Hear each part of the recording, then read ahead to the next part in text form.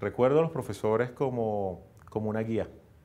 como una guía que te va empezando a formar en criterios, no como personas que te dicen qué debes hacer, sino que te van dando herramientas, te van dando eh, criterios, te ayudan a formar un poco el criterio y adicionalmente te, a través de las preguntas y a través de, las, eh, de la misma metodología y de las vivencias que tienes, te van dando, digamos, como caminos y pautas para siempre ser mejor.